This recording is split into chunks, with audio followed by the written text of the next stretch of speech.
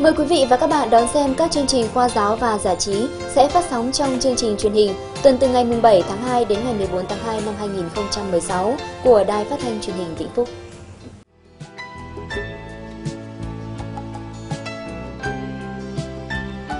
Tại một nơi gọi là thung lũng heo của Nhật Bản, một loài có họ hàng gần với tổ tiên của chúng ta đang dựa vào nhau để sinh tồn.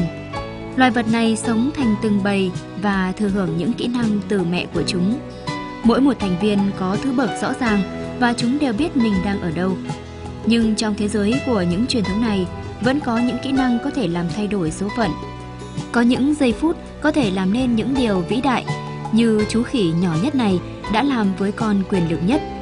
Ở trong bầy khỉ này, chẳng có gì thoát khỏi sự chú ý. Và đó là thế giới của những con khỉ tuyết Nhật Bản. Năm thân nói chuyện về những chú khỉ. Quý vị khán giả đừng bỏ lỡ những thông tin hấp dẫn và thú vị về cuộc sống của những chú khỉ trong chương trình Thế giới động vật phát sóng vào lúc 22 giờ ngày mùng 8 tháng 2.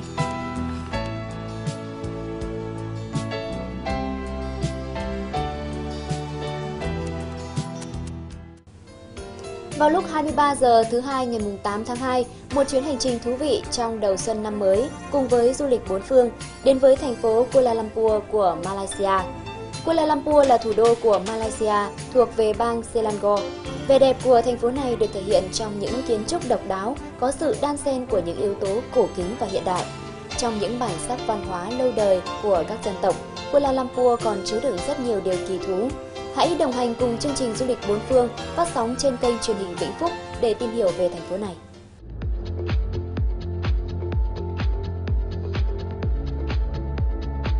Mùa xuân đang cất lên khúc tấu ca ngọt ngào, hòa nhịp cùng dòng chảy của thời gian.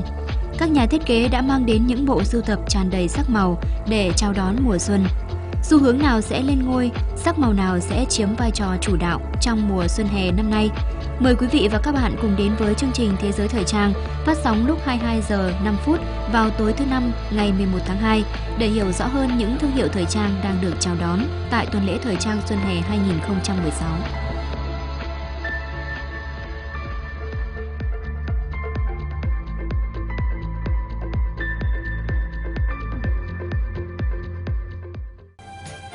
Trái đất là thứ duy nhất trong hệ mặt trời, có lẽ cả trong vũ trụ. Hành tinh của chúng ta hoạt động ra sao? Những nhân tố nào đã tạo nên thế giới này? Núi lửa, đại dương, băng tuyết.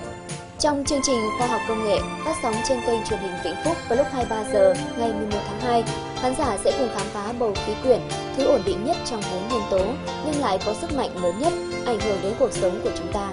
Khí quyển chứa đầy những điều bí ẩn, tuy nó vô cùng mạnh mẽ nhưng cũng vô cùng nhạy cảm. Nó là kẻ tàn phá nhưng đồng thời lại bảo vệ chúng ta đó là nền tảng cho mọi sự sống, tuy nhiên nó lại được sự sống tạo ra. Không có khí quyển, hành tinh này sẽ là nơi không thể sinh tồn được. Đón xem chương mục Sức mạnh trái đất trên kênh Vĩnh Phúc để tìm hiểu về yếu tố quan trọng của sự sống.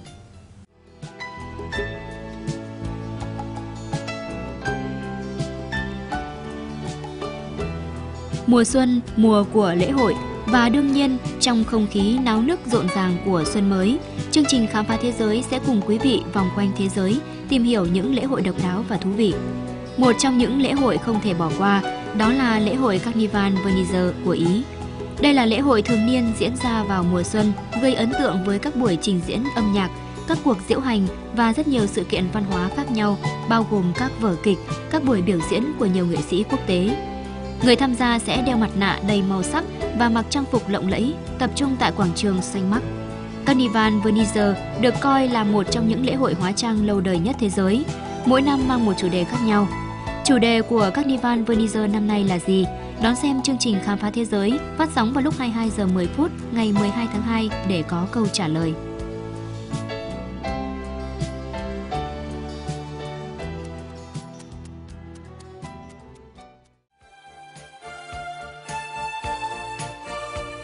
Cũng giống với đất nước Việt Nam và Trung Quốc, người Hàn Quốc cũng ăn Tết Nguyên đán.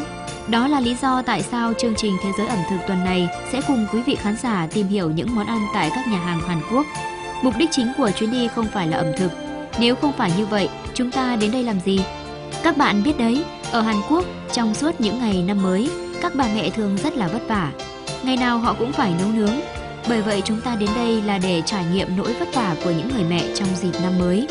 Đón xem chuyên mục Thế giới ẩm thực vào lúc 22 giờ 25 phút ngày 13 tháng 2 để chia sẻ với những người phụ nữ nội trợ trong căn bếp của họ.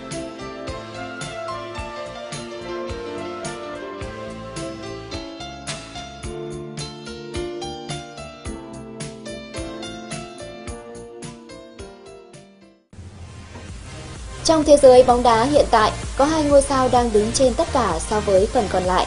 Một trong số đó là Lionel Messi và người còn lại không ai khác chính là Cristiano Ronaldo, hay còn gọi là CR7. Có thể nói cũng giống như đồng nghiệp siêu sao và cũng là đối thủ trên sân người Argentina. Messi, Ronaldo cũng đang có tất cả nhờ bóng đá.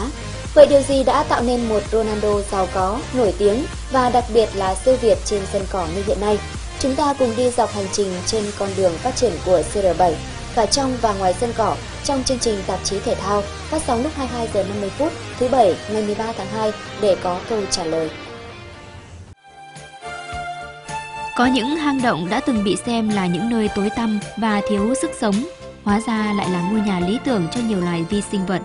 Không những là những kỳ quan thiên nhiên của tạo hóa, mà ở đó còn tiềm ẩn rất nhiều điều thú vị mà chúng ta chưa khám phá hết.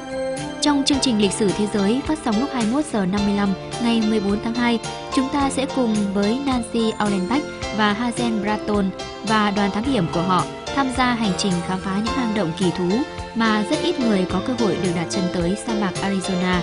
Nội dung chi tiết sẽ được phát sóng trên kênh truyền hình Vĩnh Phúc. Picasso là một danh họa nổi tiếng, nhà điêu khắc tài ba, sứ giả hòa bình và tiến bộ xã hội. Danh họa người Tây Ban Nha được xem là một trong những nghệ sĩ nổi bật nhất của thế kỷ 20. Ông cùng với Georges Braque là hai người sáng lập trường phái lập thể trong hội họa và điêu khắc. Để tìm hiểu rõ hơn về con người đặc biệt này, mời quý khán giả cùng đồng hành với tiến sĩ Alastair Suker trong chương trình Thế giới nghệ thuật phát sóng lúc 22 giờ 55 phút ngày 14 tháng 2 để dõi theo những dấu ấn quan trọng trong chặng đường sự nghiệp nghệ thuật của danh họa Picasso. Mời quý vị và các bạn chú ý đón xem.